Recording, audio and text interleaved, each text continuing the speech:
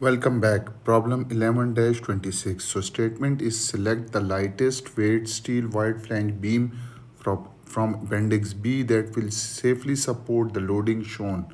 The allowable bending stress is 22 ksi and allowable shearing stress is 12 ksi. So you can see this is overhanging beam AB that is having a point load at this end which is 5 kilo 5 kips and there is a movement of 18 kips into feet in counterclockwise direction. So you have to find the lightest weight of wide flange beam that will support this loading. So let's start with the solution. The first step is that you can see that eh, there is a roller support. So this loading is downward. So this will be upward and this loading will be downward. So if you remove this support at point a so you will be having a reaction force which is represented as ra and if you remove this pin support at point b so you will be having a reaction for force which is represented as rb so we'll find this ra and rb by using equilibrium condition. So first equilibrium condition is that sum of all moment about point a is equal to zero and taking the counterclockwise movement as positive. So about point a one movement is this one which is 18 kips into feet that is counterclockwise direction it will be positive. The second movement will be this force into perpendicular distance is 6 feet and this is also counterclockwise so it will be positive. The third movement about point a is rb into perpendicular distance is 12 and this will be clockwise and it will be negative but their sum must be equal to 0 so i will write 18 plus 5 into 6 minus 12 into rb is equal to 0 so 18 plus 30 minus 12 rb is equal to 0 so 48 is equal to 12 rb and from here you will get RB is equal to 4 kips. Okay, so this is RB. Now we'll find R A by using another equilibrium condition. And what is that equation? So sum of all forces along y direction must be equal to 0 and upward force is taken as positive. So three forces. One is minus 5 plus RA minus RB equal to 0. So minus 5 plus RA minus 4 is equal to 0. So RA will be equal to 9 kips. Now you have these two reaction force. So we will go to draw the shear force and bending moment diagram. Why? Because we know that uh, we are selecting the beam for that. We will re required section modulus. So required section modulus is equal to maximum bending moment divided by allowable bending stress. So we will need this maximum bending moment. So what we will do we will draw the shear force and uh, bending moment and shear force diagram. So i will take two lines from the end of this beam vertical lines and then a horizontal line that will show the length in feet x in feet. Here we will be having shear force that will be in kip clear.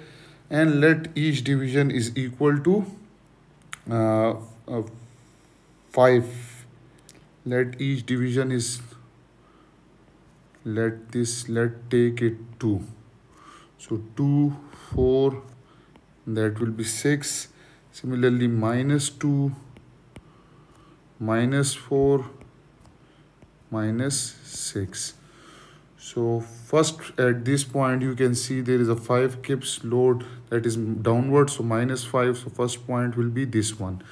Now there is moving from this load till a there is no other force so it will remain same. Clear? So this will be same till this point so your shear force will be same. At this point you can see you have a load of uh, RA which is equal to 9 kips.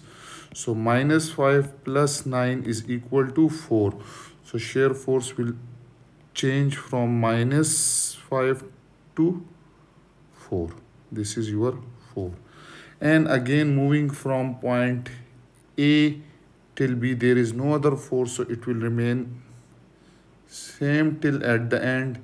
And you can see here at B which is 4 kips the downward so it will go downward to 0 so this is your shear force diagram.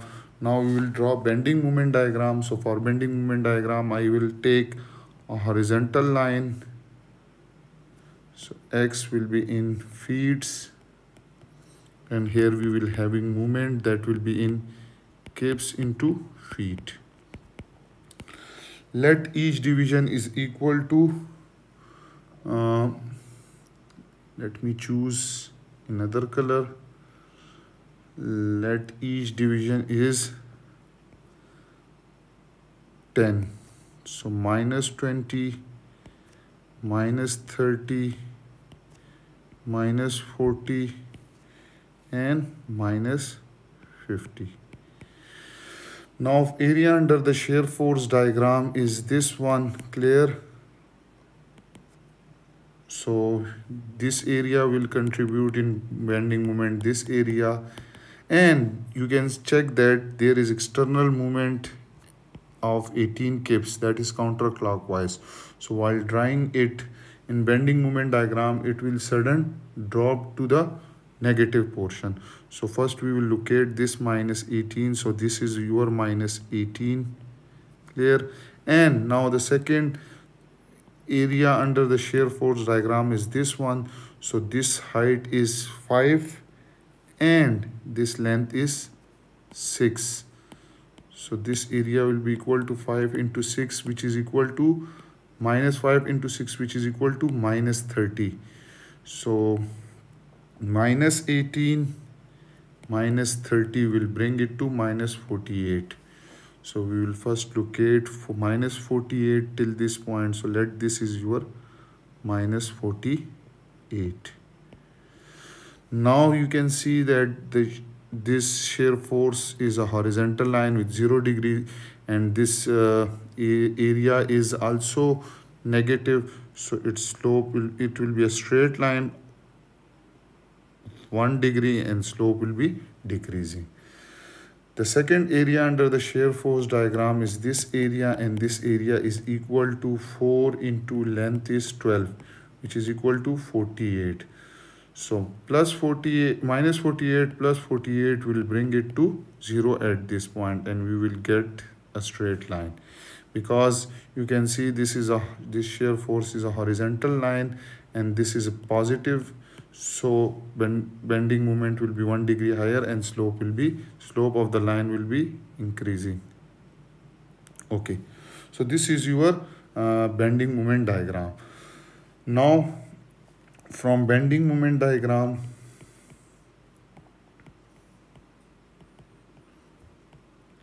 the value of maximum bending moment maximum bending moment comes out to be absolute value of maximum bending moment is minus 48 so maximum bending moment is equal to 48 kips into feet clear? And in term of uh, kips into inch 48 multiplied by 12 will convert it into kips into inch. Okay. Now we have this value. We have allowable stress which is given over here 22 ksi so you can just put it required section modulus is equal to maximum bending moment divided by allowable stress. So maximum bending moment is 48 into 12 divided by 22 K, ksi so 22 so required section modulus after calculation will come out to be 26 point 26.18 cubic inch. Now this is the required section modulus.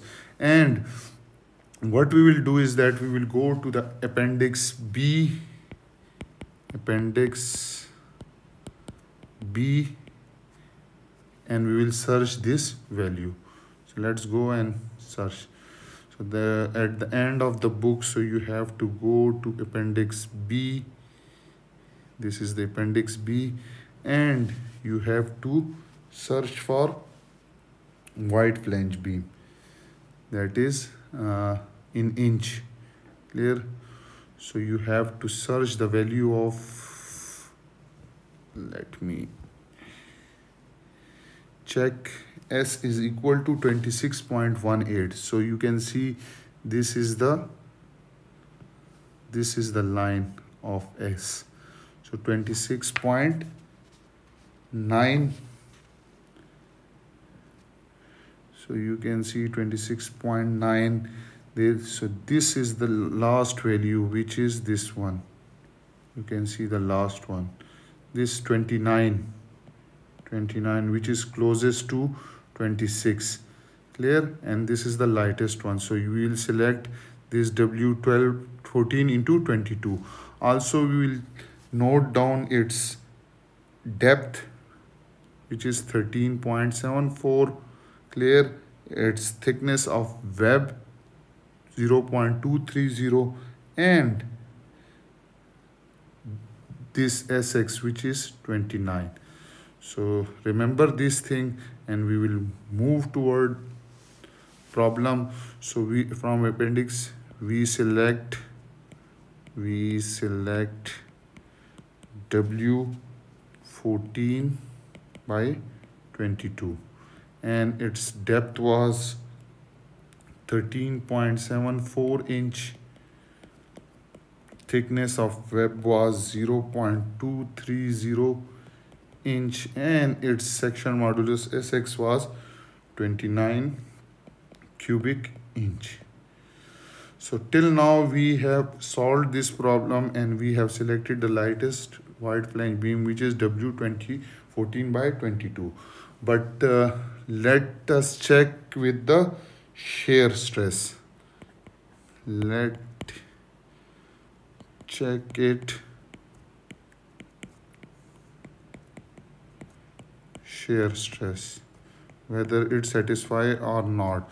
So we know that maximum shearing stress is equal to maximum shear force divided by thickness of web into depth so maximum shearing stress can be obtained from the shear force diagram. So this was minus 5 clear. So absolute value of maximum shear force from the diagram shear force diagram is 5 kip clear. So I will write 5 divide by thickness of web is 0 0.230 and depth is 13.74 inch. So when you calculate, you will get maximum shearing stress comes out to be 1.58 KSI. Now you can see that this maximum shearing stress is less than allowable because maximum shearing stress is 1.58 KSI and that is less than allowable and allowable is 12 KSI. Allowable is 12 KSI. Okay. Hence, W14 by 22 is lightest wide flange steel beam.